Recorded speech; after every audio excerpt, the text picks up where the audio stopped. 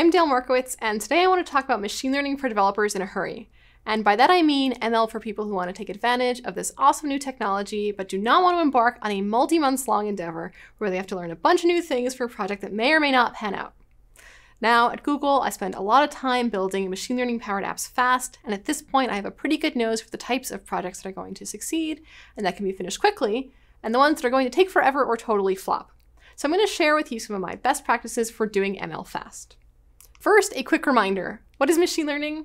My unofficial definition is that it's the art and science of finding patterns in data, usually so that you can make predictions on new data.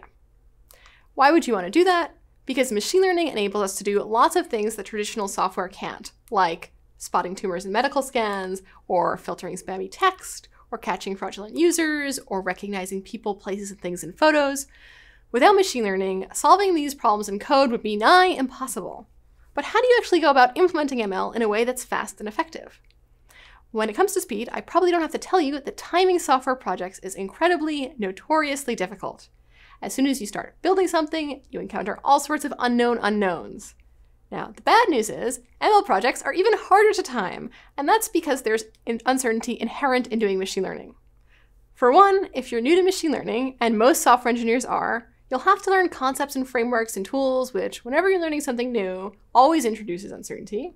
But in machine learning, as opposed to traditional software engineering, there's also this additional step of data collection, which can also be a really long part of the development process. And finally, all machine learning models are probabilistic, meaning that they're never ever going to be 100% accurate. Unfortunately, it's often difficult to know how accurate or inaccurate a model is going to be until after you've already done all of the hard work of building it, so potentially you spend a lot of time for a model that's not even accurate enough for your use case. And that all stinks. So how do you avoid falling into these traps? Now, the key, in my opinion, is to choose the right problems, which is to say to choose the problems uh, that you know ML will work on quickly and effectively, the low-hanging fruit. But how do we know what these good problems are? For me, I tend to ask myself three questions. So the first one is, is the problem I'm trying to solve a common one? More on that in a second. Do I have good tools to solve the problem? And then can I validate my machine learning model quickly on real data? Going back to that first question, is the problem I'm trying to solve common? Now that might sound strange, but let me give you a parallel example from web development. Imagine trying to build an app that implements peer-to-peer -peer video streaming, like for video chat. Technologically, this is a pretty complicated networking problem if you're starting from scratch, but happily, P2P video is such a common use case that other smart networking people have solved the problem for you. So just by building off of others' work, you can construct this complicated video streaming app quite easily, and the same pattern is true for ML. So what are the problems that can be solved easily with ML because someone else has done the work for you? One would be transcription, that's speech to text, localization, I'm talking about translation, sentiment analysis, building conversational agents or chatbots, image classification, smart search like on Google. And what is it that makes these problems easy? It's the fact that you don't have to go out and collect data and train your own model. You can borrow an existing model, like an open source model from TensorFlow Hub or one from Google Cloud. So for example, take translation. Uh, building a machine learning model to do really high quality translation is incredibly difficult. Usually you need a huge dataset of side-by-side -side translations, so millions of examples of sentences in English and their Spanish counterparts, and even if you were able to find a huge dataset like this, you then need to train this big sophisticated expensive machine learning model on all of that data. And the same is true of speech to text. To train a transcription model, you also need tons of data, and like translation, it'd be a huge pain to train an accurate transcription model. However, as you can imagine, transcription and translation are such common use cases, and because of that, there are lots of great tools and APIs to make this easy for you. For example, here you can see code to translate a string of text using the Google Cloud Translation API, which is basically the API version of Google Translate. And as you can see, it's a very short snippet of code. We instantiate a translation client, we pass it a string of text that we want to translate along with the target language code, which in this case is ES for Spanish, and we get the translated result. Uh, the speech-to-text API and the text-to-speech API look very similar to this, and using these APIs uh, is one way that you can do ML without a lot of the headache that comes with doing ML.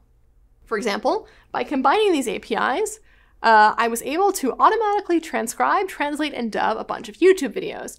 So I'm going to show you the result of this low-effort, speedy ML project. Let's take a look. On kriittinen. Mun pitää tehdä uuden vuoden lupaus. I have to make a New Year's resolution to eat less treats and play more sports. Ha habido empresas, organizaciones sin fines de lucro y o There have been companies, nonprofit organizations, and educational institutes. So I always thought it would make sense to stick to something simpler, like software engineering. Всегда думал, что есть смысл приклеить что-нибудь попроще. So, I don't know what you thought about that. Some people might be okay with these translated voices, others might find them a little uncanny valley, but the important thing is that this prototype was really quick and easy to build, and once you have a proof of concept, you can then decide if this quality is uh, would suit your use case. So now let me give you one more example of easy to do ML, and this time it's going to be from Vision, which is object tracking. So object tracking is a computer vision technique that lets us track the positions of objects in videos over time. Again, this is a very tricky ML problem to solve yourself, but it's kind of easy when you have somebody else's model to use, like in this case, the Video Intelligence API. So in this video, you can see some footage that my dad took from the GoPro on his motorcycle. So I pass his videos through the Video Intelligence API, which gives me these nice little bounding boxes that tag buildings and streetlights and cars as my dad is passing them. It took me all of 15 minutes to go from his video to these results, which is a very fast time to go from data to validation. Now, I just mentioned a bunch of Google Cloud AI APIs, which is a really great toolset because they're really high quality models built and maintained by Google. But if you want to take a completely open source approach to doing object detection, you can do that as well. For that, check out TensorFlow Hub, which is a repository of pre-trained, free-to-use, open-source TensorFlow models. Here we're actually looking at an object detection model, and actually this is in TensorFlow.js, which means that you can do object detection directly in JavaScript in the browser. Now to reiterate, one of the biggest advantages to using pre-trained models is that they allow us to validate how well ML will work on our data really fast. So we can figure out, is this quality what we need it to be?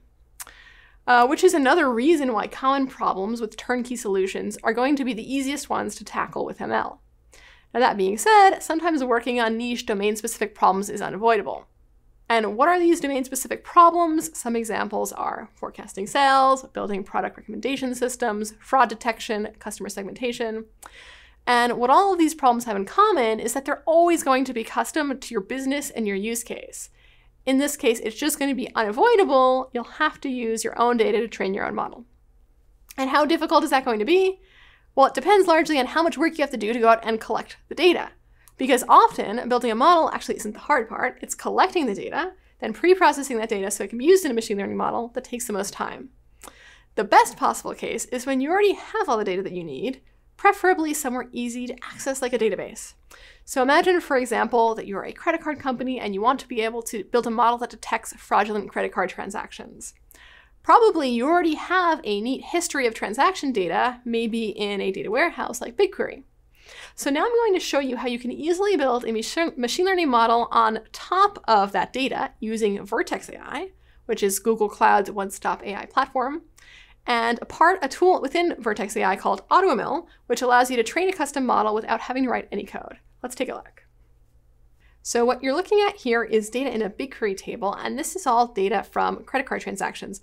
Now what the different columns are has been anonymized. We're not sure exactly what these columns correspond to, but what you can see is in this class column at the end, is that we have a bunch of zeros and ones which indicate whether the transaction was fraudulent or not. And as, as you can imagine, most transactions are not fraudulent, so the data set is skewed. Now we're going to train a model to predict whether a transaction was fraudulent, and we'll do that in Vertex. And the way that we do that is to import first the data set from BigQuery. So I'll create a new data set. I'll call it credit card transactions, and it's going to be a tabular data set. And I'm going to import the data directly from BigQuery. Table that I just showed you is called transactions. And here we can see what data was in that table. Most of it was floats, except for the class, which was an integer, that's the label. And it's very easy to train a model on top of this data. You just click the Train New Model button, and we're going to use AutoML, which means have Google design the model for us. We're just going to get the end result. Click Continue. Uh, we're going to make predictions about the label, which is called class, trans, uh, fraudulent or not. Then we click Continue.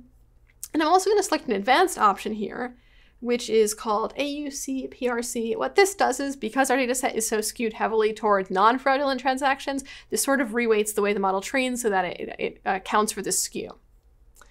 Then I click, click continue and I decide how long I want the model to train for, which I'm going to train it for one node hour and click start training. And now in the background, Google is handling the design and training of my machine learning model. So I'll show you what it looks like when that process finishes here in the models tab. Here's a credit card fraud model I trained uh, recently. Take a look at what we get in the console. So first we get the confusion matrix and a bunch of metrics describing to us how accurate the model is. And you can see that this model was very accurate. But once you've trained a model in Vertex, it's actually very easy to use it in a variety of ways. So the first one I'll show you is batch prediction. So this allows you to, once you've trained a model on BigQuery data, you can actually point it to another BigQuery table so maybe all of the unlabeled transactions and have it make a prediction on that data. This is called batch mode because it's on like an already large data set.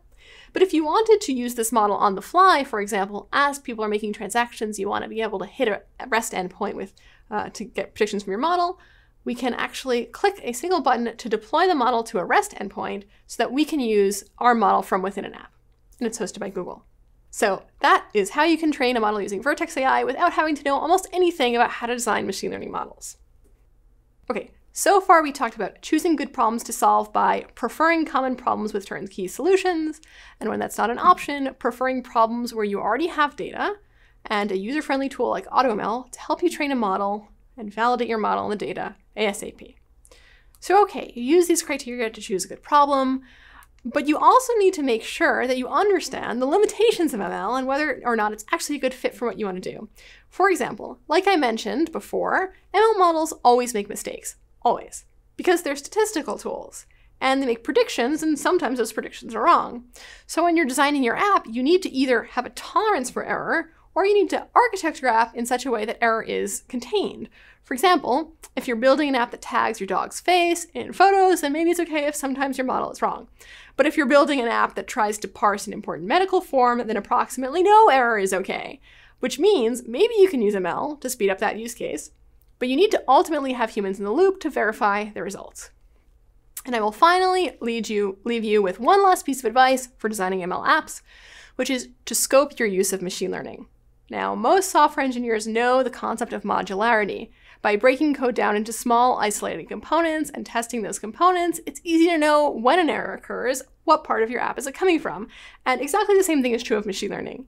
The most successful projects use ML for just one piece of the puzzle, like translating text or transcribing speech, or maybe we weave these components together, but the app is not going to be end-to-end -end completely controlled by AI, where when something goes wrong, you have no idea even where to start looking. So that's all I have to say for today. Though here are some helpful links if you want to learn more about building ML apps fast. And if there's just one thing I can leave you with, I hope it's the feeling that ML can be a very powerful tool if you're strategic in the ways that you decide to use it. That's all, and thanks for watching.